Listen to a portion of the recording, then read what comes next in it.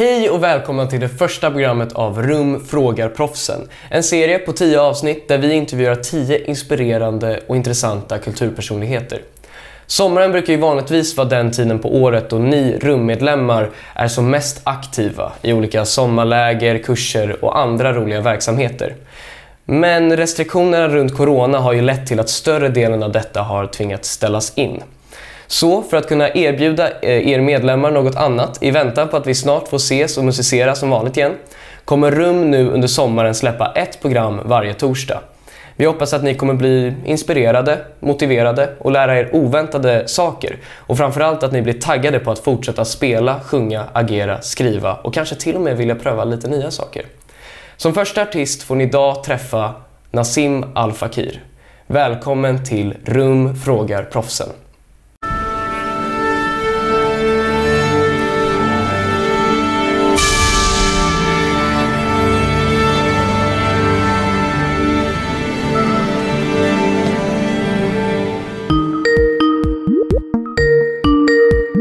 Hej Nassim! Hej! Hej! Jag måste fråga först, var befinner du dig just nu? För jag ser massa Ja. instrument i bakgrunden. Jag har precis flyttat till ett hus. Oj. Eh, från eh, har bott väldigt många år i eh, en lägenhet i stan. Eh, jag var lite skeptisk till att vi skulle flytta till hus. Eh, men helt plötsligt insåg jag att jag har saknat den där tillgängligheten till framförallt instrumenten. Eh, Så just nu sitter jag i det rummet som ska bli ett eh, skönt musik och eh, tv-hängrum. Ja. ja, men det, det har inte blivit än kanske? Eller det håller Nej, på? det nej, trummorna kom ju upp på en gång såklart för jag har liksom Ja. saknat att ha dem hemma. Mm. Jag har inte liksom kunnat spela senaste åren så mycket som jag egentligen brukade göra. Men Mm. Det är långa historier. Men eh, så just nu eh, ska vi här inte riktigt klara. Vi har precis flyttat. Men intressant att du pratar om just eh, trummorna för att eh, vi har en tittarfråga direkt och eh, den kom från Alice från Stockholm och den kommer här. Hej Nassim! Jag heter Alice, jag bor i Stockholm och jag har en fråga till dig. Hur kommer det sig att du blev intresserad av att börja med slagverk? Det är eh, speciellt det här med... He, jag och hela min familj jobbar ju liksom med eh, musik och underhållning. Jag är både programledare och musiker och har väl inte sett så stor skillnad egentligen på det. Det är någon form av eh, uttryck på scen. Liksom. Ja, mm. Men vi har alltid haft... Eh, vi skulle börja med ett instrument ganska tidigt. Vi började med piano allihopa. Alla i ganska liten ålder, 3-4 års åldern sitta i knät på någon pianolärare och fick klappa händerna i olika rytmer och sen spela lite typ eh, Lille katt, ganska tidigt. Runt 3-4 års åldern. Och sen kom vi där runt eh, 10-årsåldern och då skulle man börja välja till instrument. Eh, och jag hittade egentligen inte riktigt mitt instrument men jag hamnade i eh, att jag spelade klarinett. Ah, okej. Och det var liksom inte, det var inte min grej. Det var aldrig min grej, någonsin. Nej. Det var, det, jag fastnade liksom inte. Mm. Eh, men ändå är jag så snäll. Så säger du att jag ska spela klarinett, då försöker jag. Liksom. Det är hela min uppväxt. Jag fortsatte liksom. Och så finns det något som ändå är så här. Man ska ta sig an någonting och då gör man det så bra man kan. Ja. Men helt, helt plötsligt, historien är så här. Den är lite speciell just med slagverket. Mm. Eftersom jag, om jag ska dra en kort version av det, för jag kan prata hur länge som helst. Ja, men ja. i princip bara så här. Jag kom hem och min mamma pratade i telefon. Då, jag tror att det bara råkar bli så att jag är den första som kommer hem. Hon ser mig och hon lägger på luren. Och innan hon lägger på luren säger hon ja, ja, jag skickar Nassim. Klick. Och då är det tydligen att om en vecka så har eh, så är det någon slags kammarmusik-ensemblehelg. Och slagverkan till de här stråkensemblarna eh, har liksom hoppat av. Så att eh, dirigenten då som vi känner får lite panik och de ringer, han ringer Fakir-familjen. Har ni någon slagverkare? Hur, gammal, hur gammal var du? Ja men då är jag 14. Ah, okej, men så du var, inte, du var inte fyra år då, tänker jag. Nej, ja, men då var jag 14. Ganska sent då. Och helt Ja. plötsligt skickar hon då mig. Mm. Hon visste inte ens vad slagverk var. Jag åker dit och han lär mig spela puka. Så klassisk puka. Alltså. Så här, spela rätt ton eh, var ganska eh, naket på så sätt att minsta lilla slag hörs. Du kan liksom Ja. inte... Du måste också följa någon annan. Ja. Så att det var faktiskt ingången. Så Ja. att fyra, fyra, fem dagar senare hade jag ju en konserthelg. Liksom. Ja. Eh, och jag bara du vet när det bara... Det är lite så här att det sa klick. Ja, ja, ja. Helt plötsligt bara öppnades en värld och då öppnades även till liksom... Då öppnades även liksom det arabiska instrumentet ja. som var liksom min pappas... Eh, eh, liksom, där han kom ifrån. Mm. Eh, helt plötsligt blev jag intresserad mer av hans kultur också. Mm. Det närmade ju mig helt plötsligt när, alltså det blev större. Det Mm. blev inte bara slagverk, det blev också det närmade en del av någon historia från pappa, så halva jag. Ja, pappa okej, är från. Sverige. Så det, Ja. Blev, så, det blev så här, wow, wow! Vet, jag, jag blev så här frälst. Ja. Men hur var, hur var den, hur var det, tror du att det hade varit annorlunda då om du hade liksom i ung ålder börjat så här, behöva liksom med tekniken och allt? Eller var, var, kändes det, tror du att du hade fortfarande kört slagverk om det inte varit så att du bara kastats ut i, i det? Ja, och, bra fråga. Mm. Eh, för det som hände var ju att det året... Jag hade väl lätt också för att lära mig. Mm. Det var, jag, jag, jag känner ändå att på något sätt så bara... Eh, på något sätt, man kan lära sig... Alltså jag lärde mig nog ganska mycket teknik som man kanske annars hade lärt sig under längre tid när man var yngre. Fast jag lärde mig allt på det året. Det gick ganska snabbt Okej. för mig att liksom komma in i det. Så jag tror inte att det hade varit någon skillnad. Nej. Eh, Men det är en rolig tanke. Ja, men, Eh, men var, var det för att du liksom bara körde? Att du var såhär, nu, nu kör jag det här? Eller var det bara Ja, att... ja, det var, ja. Och så fanns det någonting då som jag på något sätt hade spelat mycket redan i både orkestrar även an, an, annat instrument. Men jag hade ju ändå spelat orkestrar, jag har ändå sjungit i ensemblar, jag har liksom Mm. varit i musikaliska sammanhang. Så att det, det, det, det, grundkänslan fanns ju där. Jag visste ju redan vad jag ville redan Mm. med truppen på något Ja. sätt. Men vilka, vilka andra instrument var det du körde innan?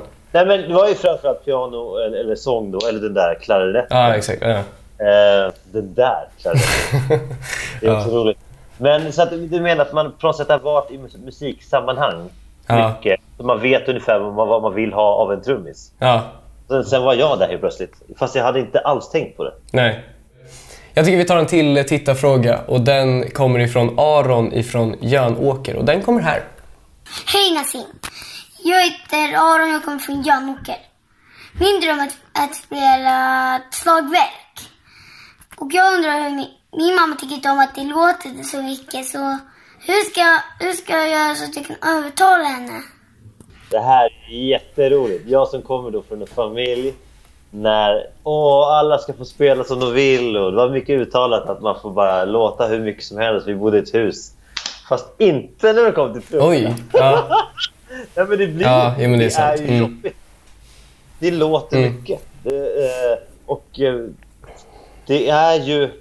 Det, eh, det dumma är att svaret går ju inte... Alltså ge att, att om jag skulle säga någonting som att ja, men det går att spela på eh, små pädar eller dämpplattor eller eltrummor för övrigt också. Så Kan, eh, det är kul ibland.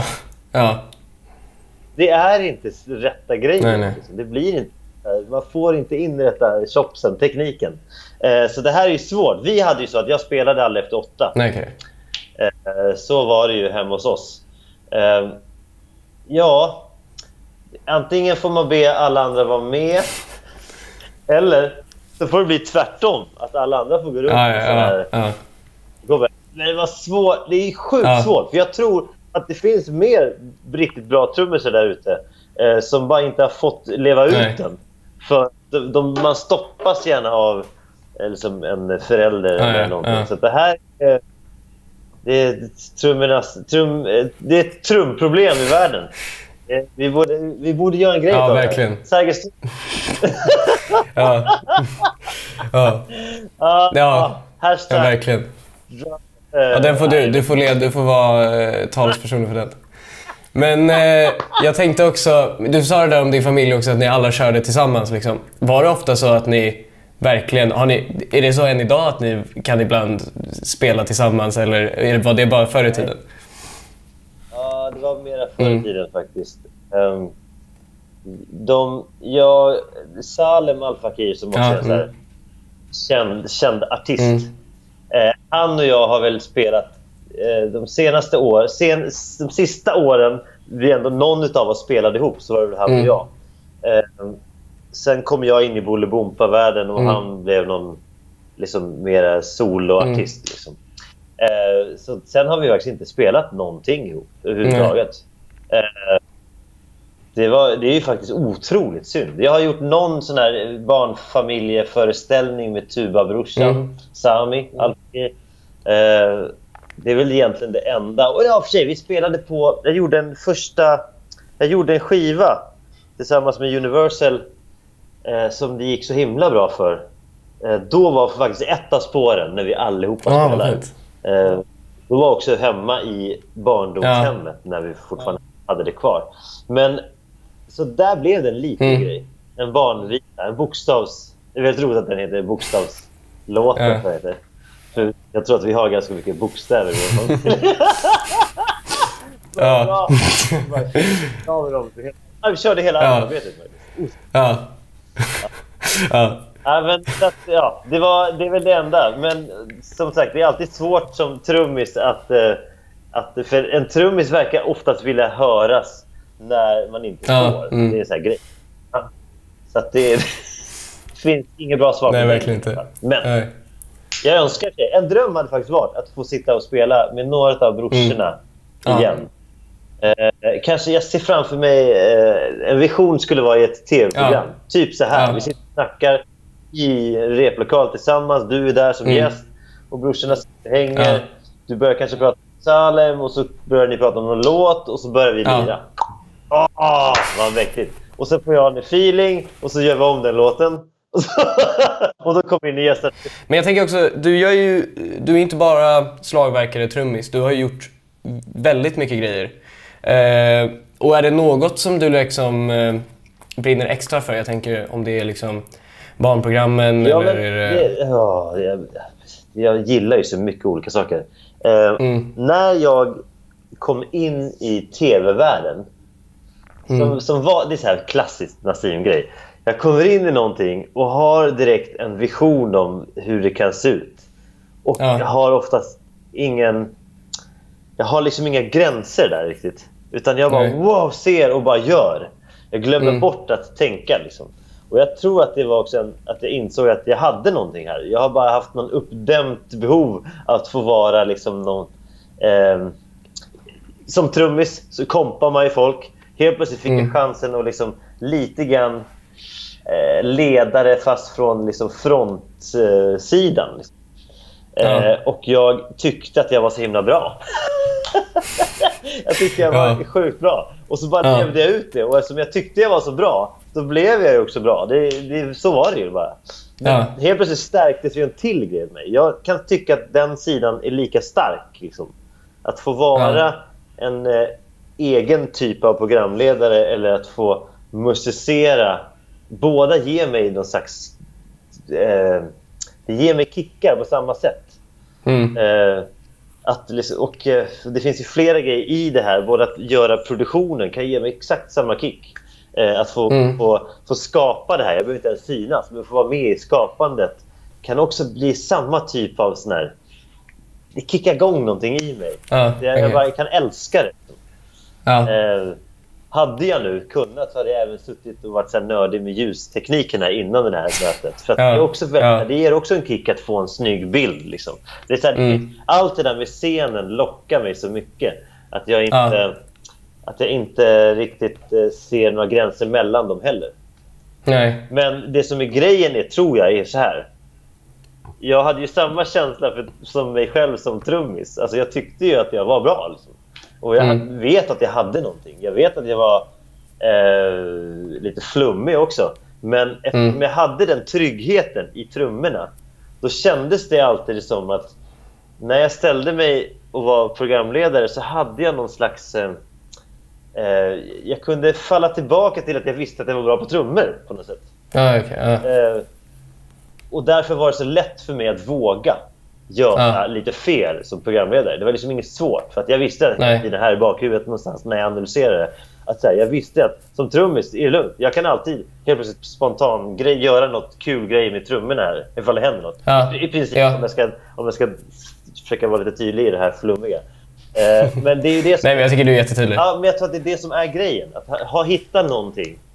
Mm. Eh, och då det blir min röda tråd i livet. Och då är det så lätt att våga testa så mycket annat. Liksom. Men har man Mm. ingenting, är man osäker som person, det är klart att det är svårt att våga hoppa på. Eller som jag då, inte se några gränser. Så, Ja. jag säger Ja. det här för att jag på något sätt var tvungen att analysera mig själv ibland. För att man ibland kommer ur så här bubblor och bara, vad var det som Ja, ja. Eh. Och eh, nu har jag börjat förstå att det är så. Och jag kan ju älska den känslan när jag inte tänker överhuvudtaget. Nu kommer en till tittarfråga och den kommer ifrån Morgan ifrån Vara. Och den kommer här. Hej, jag heter Morgan. Jag har en fråga till Nassim. Hur var det att eh, dubba Olof till Frost? Jag fick ju chansen att göra rösten till Olof i Frost. Så sjukt bra! Så sjukt kul! Ja. Eh, det var faktiskt så att de kände ju till mig, såg filmen och ville verkligen att jag skulle göra den. Så att, och när jag kom dit, det är nog den enda dubbade film jag gjort när jag verkligen också känner. Jag känner att han är lik mig, eller att jag är lik honom. Att vi är så lika på något sätt i snacket. Eh, faktum var att i film två så var det någon frekvens när jag dubbade den. För ibland är det så att man, man dubbar genom att man får en tidskod. Där ska man säga det här, så ser man texten under. Och så hör man det engelska ordet, ljudet och så kör man. Liksom. Oftast lyssnar man på det, men jag brukar ibland bara våga chansa. Liksom. Mm. Det sjukaste av allt, med Olof just, så hände det flera sådana gånger när jag bara läser det här som jag ser att han ska läsa och så kommer den här frekvensen, jag börjar säga det och det låter exakt så, så börjar jag garva och så kommer ett garv av honom också som är typ likadant. Så bara, wow vad sjukt! Det är så här, jättemycket Och då jag en sån här Hollywoodfilm. Förstår du Ja. Det, det är typ som att, det var, och det var väldigt roligt att känna den eh, känslan. Men det var också svårare än alla andra dubbade grejer jag gjort. För det var så Ja. nyanser som man var tvungen att... Man bara ville göra det bättre. Och målet Mm. var att göra det bättre än, än, eh, än den amerikanska. Ja. Men nu, hur kändes hela det att vara på hela det här alltså Disney-racet med tanke på att Frost blev ju så stort sen? Eh, och att du ändå liksom, att folk förmodligen, flera barn har hört din röst som deras favoritkaraktär förmodligen i Nej, det, filmen. det är oftast svårt. Eh, oftast är det någon äldre person som säger till någon yngre att så här, kolla här, det är han som är Olof. Och de fattar liksom ingenting. För att Nej, nej, nej. det är Ja. en tecknad figur. Och han, det är ju ingen som dubbar honom, utan det är ju på riktigt. Liksom. Ja, ja, ja, ja. Eh, och så, jag vet ju om den känslan. Jag kommer ihåg själv när jag tittade på film när jag var liten. Mm. Var ju ingen som dubbar, utan det är ju de som pratar. Liksom. ja, Man tänker så, så det blir så konstigt. Men ja. det är ballt att få vara med i en sån produktion som är så stor. Sen vore det ju kul ifall de här fyra eller fem miljonerna... Jag tror det är snart fem miljoner lyssningar på just det, om sommaren, hans, hans låt Ja, okej. Ja. på, på Spotify och sådana ställen. Eh, så det, är ju, det vore ju kul att få en del av det, men det får man inte. ja. Nej, men eh, ja, du fick vara med i filmen i alla ja, fall. jag Den- vet. Ja. Jag är så sjukt, faktiskt som att jag är, är, så sjukt stolt över det. det Ja. jag ja, det borde du vara också. ja. Tack. Jag tänker också, jag, jag måste ändå säga grattis också för du har fått ett pris, eh, Stockholms stads kulturpris och eh, det är ett hederspris för kulturarbete för barn och unga.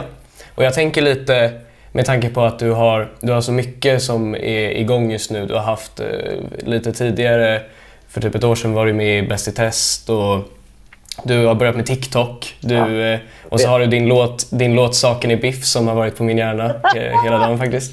Så vad tänker du så vad tänker du liksom, vad är, vad, är dina, vad är dina framtida planer? Ska du vara lite mer, ska du fortsätta med barn och unga delen eller ska du liksom försöka göra något nytt eller vad, vad är dina Ja, tankar? jag fattar. Eh, eh, i mig, jag vill ju så mycket. Man vill, man vill ju, eller jag vill verkligen eh, utveckla egentligen alla delar. Både skådespelargrejen eller eh, sångdelen eller liksom pratdelen. Liksom. Så här, allting vill jag utveckla mer. Eh, jag känner ju att jag eh, hoppas på... Okej, jag kan säga Mm. så här. Jag hoppas ju på att jag får göra mer eh, tv som involverar de andra lite grann. Eh, med, med alla brorsor. Eh, Mm. alltså, det vore kul att få göra mer tv, familjeunderhållning. Mm. Eh, och lite bygga på det jag har. Precis. Ja. Men det är klart att jag skulle ju säga ja till... Skulle det komma in någon eh, actionfilm Ja. då skulle jag, skulle, jag, skulle jag aldrig sagt nej om de bara “jag vill att du ska vara boven”. Jag hade ju tackat ja direkt. Ja. Eh, även om det kanske inte hade varit en barn... Nej, jag hade nog testat det också. Men jag hoppas ju Ja. på... Jag älskar ju humor och eh, familj. Så det vore Mm. kul. Och när just det där priset kom så blev jag ju så enormt rörd. Du vet, jag blev sådär... För Mm. man glömmer ibland bort att folk kanske ser vad man gör. Eller att du har hört låten Söken Biff. På något sätt, man gör bara... Ja. Och så vet man liksom inte vad folk ser och inte ser. Och just den dagen när de ringde så var jag lite så här, men shit vad är det som händer egentligen? Det är så mycket corona och det finns inga aktier. Ja, alltså man är helt... Allt man har gjort Ja. är bara så här, det bara försvann känns det som. Vad händer? Ska jag bara träna nu? det är ju roligt i och för sig. Men värdelöst. Jag måste få göra något mer. Och så ringde Ja. de och så berättade jag att jag fått det här hederspriset. Så det var ju en... eh, Den, den eh, blev som en så här skön, fin... Vad ska man kalla det för? Eh, Jag kommer ha med mig den i hjärtat. Starkt, starkt. Ja, nej, men nu tänker jag ändå avrunda med, eftersom att eh, du har ändå ett trubbset i bakgrunden, du har, du har ett piano ser det ut som, och sen gitarr ser jag också. Eh, eh, men jag tänker ändå, eftersom att du är slagverkare, att du får, du får, köra, du får köra lite trummor tycker jag. Eh, vad roligt! Det här är ju så bra Bara man kör. intervjuer så här. Eller möten Ja. så här. Då kan man ju... Ja, Shit vad kul! för Man hade inte haft med sig trummor annars. nej, nej exakt. Vänta, vi gör så här. Vi tar, vi tar den här såklart. Den här arabtrumman. Ja, ja. Den, som Ja. var, den var ju den jag hittade hem med, liksom, kan man säga. Eh, Ja. Så vi gör en sån här Ja. klassiska arabkomp. Ja, Ska se. Ser du mig eller? Det där. Ja jag ser det, jag ser det. Ja, det, det ser jättebra ut.